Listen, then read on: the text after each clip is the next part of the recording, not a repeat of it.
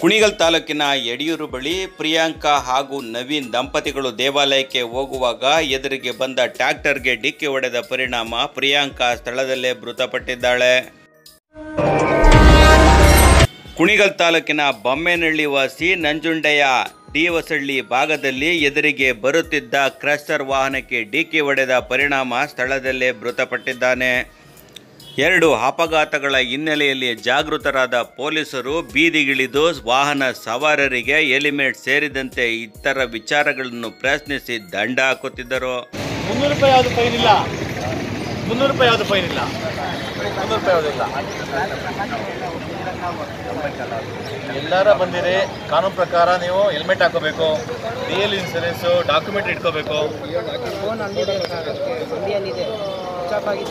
ಈ ಕಡೆ ಬನ್ನಿ ಯಜಮಾನ್ರೆ, ಈ ಕಡೆ ಬನ್ನಿ. ಹೆಸರು ಹೇಳಪ್ಪ. ರಾಜೇಶ. ನಾನಿವತ್ತು ಎರಡು ಸಾವಿನ ಕುಣಿಗಲಲ್ಲಿ ನೋಡಂತ ದುರ್ದೈವದ ಪರಿಸ್ಥಿತಿ ಬಹಳ ದುಃಖದಲ್ಲಿ ಇವತ್ತು ನಿಮ್ಮ ಮುಂದೆ ಬಂದಿದ್ದೇನೆ.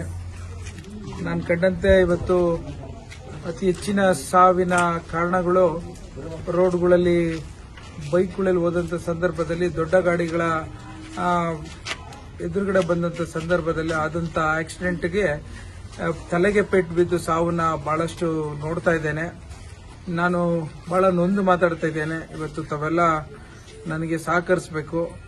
ಹೆಲ್ಮೆಟ್ ಇಲ್ದಲೆ ಇವತ್ತಿನ ದಿನ ಬಹಳ ಸಾವಾಗಿರೋ ಹಿನ್ನೆಲೆಯಲ್ಲಿ ಇವತ್ತಿನ ಒಬ್ಬ ನಲವತ್ತೈದು ವರ್ಷದ ವಯಸ್ಸಿನ ನಂಜುಂಡ ಅವರು ಬಿಟ್ಟು ಹೋಗ್ಬೇಕಾದ್ರೆ ಎದುರುಗಡೆ ಗಾಡಿಗೆ ಬಿದ್ದು ತಲೆಗೆ ಏಟು ಬಿದ್ದ ನಂತರ ಆಕಸ್ಮಿಕವಾಗಿ ಆ, ಆ ಒಂದು ಹತಾಚುರಿಯಾಗಿ ಇವತ್ತು ಸಾವನ್ನಪ್ಪಿದ್ದಾನೆ.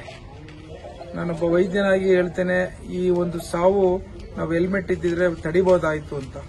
ಸೊ ನಾನು ನನ್ನ ತಾಲೂಕಿನಲ್ಲಿ ಮುಂದಿನ ದಿನಗಳಲ್ಲಿ ಸಂಚಾರದ ವ್ಯವಸ್ಥೆಯ ಒಂದು ಸುಧಾರಣೆಗೆ ಬಹಳ ಕಟುವಾಗಿ ಈ ಒಂದು ದಿಕ್ಕಿನಲ್ಲಿ ನಮ್ಮ ತಾಲೂಕಿನಲ್ಲಿ ಪ್ರತಿಯೊಬ್ಬರು ಹೆಲ್ಮೆಟ್ ಉಪಯೋಗಿಸಬೇಕು ಅಂತ ನಾನು ಮನವಿ ಮಾಡ್ತಾ ಇದ್ದೇನೆ. ನೀವ್ಯಾರು ಮಾತು ಕೇಳಲಿಲ್ಲ ಅಂದ್ರೆ ನಾನು ಫೈನ್ಗಳನ್ನು ಮುಂದಿನ ತಿಂಗಳಿಂದ ದಿನಾಂಕವನ್ನು ಪ್ರಕಟಿಸ್ತೇನೆ. ಮುಂದಿನ ದಿನಗಳಲ್ಲಿ ಸಭೆ ಮಾಡಿ ಒಂದು ದಿನಾಂಕವನ್ನು ಪ್ರಕಟಿಸ್ತೇನೆ. ಆದ ನಂತರ ಯಾರಾದರೂ ಹೆಲ್ಮೆಟ್ ಇಲ್ಲದೆ ಪಯಣ ಮಾಡಿದ್ರೆ ಫೈನನ್ನು ಅನ್ನು ಹಾಕಂತ ಕಟುವಾದಂಥ ನೀತಿಗಳು ನಮ್ಮ ತಾಲೂಕಿನಲ್ಲಿ ಬರುತ್ತೆ ಅಂತ ನಾನು ನಿಮಗೆ ಹೆಚ್ಚಿನ ರೀತಿ ಎಚ್ಚರಿಕೆ ಕೊಟ್ಟು ಮನವಿ ಮಾಡಿ ತಾವೆಲ್ಲ ಈ ಒಂದು ಜೀವಗಳನ್ನು ಉಳಿಸ್ಲಿಕ್ಕೆ ಸಹಕರಿಸಬೇಕು ಅಂತ ಕೈ ಮುಗಿದ್ಕೊಂಡು ಕೇಳ್ಕೊತಾ ಇದ್ದೀನಿ.